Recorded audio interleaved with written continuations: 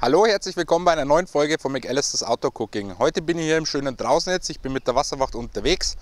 Heute werde ich für euch ein leckeres Chili zubereiten. Wie wir das machen, was wir dafür alles brauchen, seht ihr jetzt nach dem Intro.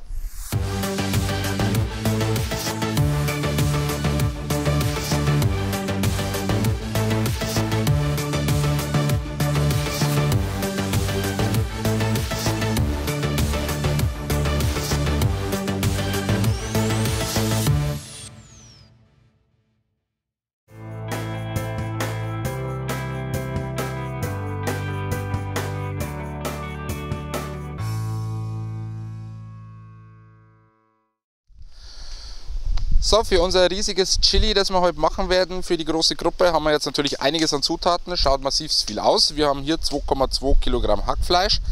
Hier haben wir Kidneybohnen, hier haben wir ein bisschen geschälte Tomaten, hier haben wir ein bisschen Mais.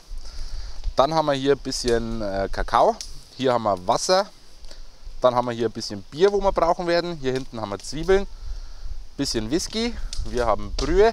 An Gewürze haben wir hier jetzt Kreuzkümmel, wir haben Majoran und wir haben Paprika. Hier hinten haben wir noch Salz und Pfeffer. Und später werden wir uns hier ein paar Baguettes mit dazu machen. Und dann werden wir jetzt einfach mal anfangen. Heute werden wir was ganz Spezielles machen und zwar haben wir hier heute einen Dreibeiner aufgestellt. Da haben wir jetzt unseren Dutch Ofen aufgestellt und jetzt werden wir hier mal ein bisschen Öl hineingeben und das lassen wir noch ein bisschen aufheizen. Und wir werden jetzt anfangen, dass wir hier portionsweise immer nach und nach unser Hackfleisch anbraten werden.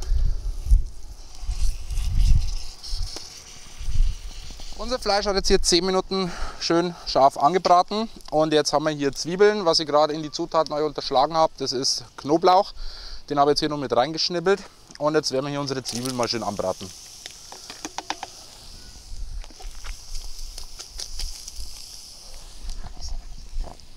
Jetzt werden wir anfangen, dass wir langsam ein bisschen Farbe ins Spiel bringen und wir geben unsere Gewürze dazu. Jetzt haben wir hier als allererstes Paprika.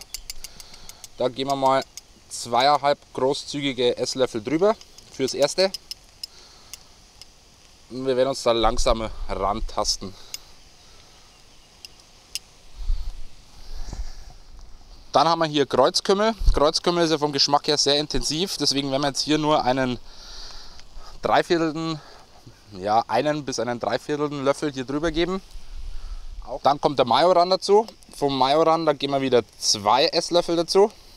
Dann kommt jetzt das Abgefahrene, das ist ein bisschen Kakao. Können sich die wenigsten vorstellen. Aber der Kakao gibt so einen richtig geilen, zartbitteren Geschmack einfach nochmal ab. Den geben wir hier auch drüber. Das sind auch so zwei Esslöffel voll. Dann natürlich großzügig Salz. Und als letzter groben Pfeffer aus der Mühle. Und den Duft, den wir hier jetzt aufsteigen haben, der ist schon klassisch fürs Chili. Erkennt man sofort. So, jetzt haben wir ein bisschen Whisky. Jetzt werden wir das alles hier ein bisschen mal mit Whisky ablöschen. Großzügiger Schluck. Dann haben wir hier gute 0,4 Liter Bier und die werden wir auch mit dazu gießen. Durch diese Flüssigkeit werden sie jetzt unsere Röstaromen unten vom Boden erst einmal schön ablösen. Und das bringt alles Geschmack. Heiß! So, als nächstes werden wir jetzt hier unsere Kidneybohnen und den Mais mit dazufügen.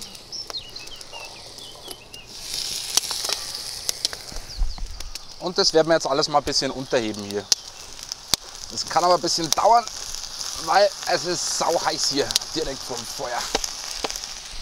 Jetzt werden wir noch unsere gehackten, geschälten Tomaten hier mit dazugeben. Hier habe ich jetzt für den Anfang mal vier Dosen und da werden wir dann schauen, wie viel das wir noch brauchen. Und die Tomaten werden wir jetzt auch vorsichtig wieder unterheben.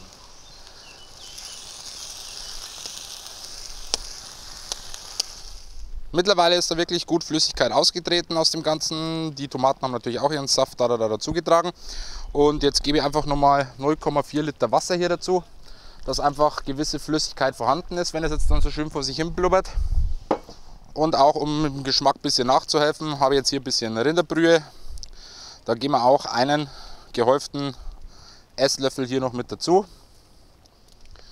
Dann wird das Ganze nochmal kurz umgerührt.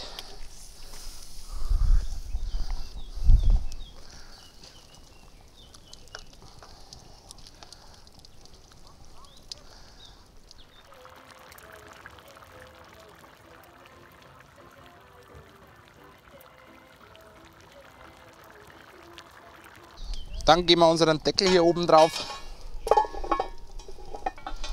Und das Ganze kann jetzt dann für mindestens eineinhalb Stunden schön gemütlich vor sich hin blubbern. So, ich habe jetzt die Ehre, dass ich hier ein bisschen mit Motorboot fahren darf. Und da werden wir jetzt einmal starten. Ich werde das Ganze ein bisschen filmen und dann schauen wir mal, ob wir was Cooles zusammenbringen werden. So, wir werden jetzt den Motor mal starten und da ist es auch schon. Und los geht's. Und los geht es. So, jetzt werden wir mal ein bisschen Wellen surfen, mal schauen, ob das klappt. Juhu!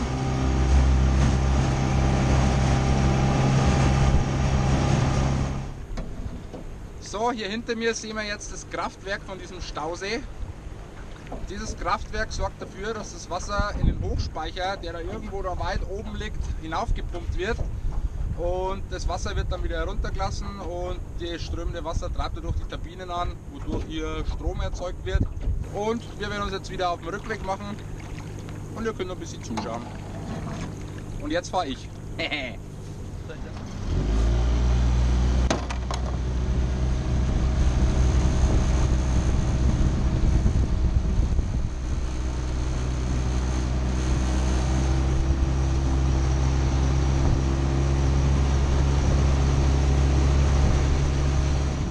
Also hier eine wunderschöne Gegend an sich, wo man schön baden kann. Der Stausee in Drausnitz.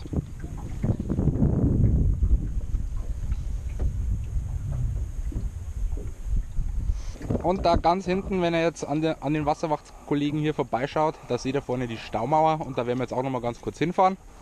Und dann ist unsere Bootstour auch schon wieder zu Ende.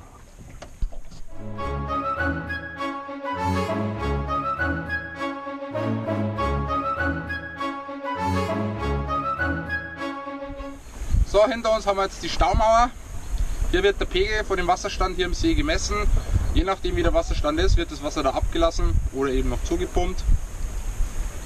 Habt ihr sowas auch einmal gesehen. Und jetzt fahren wir wieder zu unserem Steg. Nicht zum Essensteg, sondern zum Steg zum Anlegen. Und sehen wir uns dann wieder. So, unser Chili ist mittlerweile jetzt schon fertig. Und die Meute haben mittlerweile schon gegessen, weil wir gesagt haben, bevor wir wieder ewig warten müssen, essen wir erst und dann drehen wir hier weiter. Trotzdem werde ich für euch jetzt ein bisschen hier was hineingeben und ich werde das dann wieder für euch probieren mit einem kleinen Resümee. Kleines Bröbchen hier und das werden wir uns einfach noch fertig machen, indem wir hier einen Klecks Creme Fraiche mit drüber geben. Das darf der Fabian jetzt hier machen. Du machst das großartig, danke dir. So, heute mal das erste Mal, dass ich mal im Sitzen das Zeug verkosten werde, aber ich mache es mal einfach mal gemütlich. Jetzt probieren wir das Ganze mal.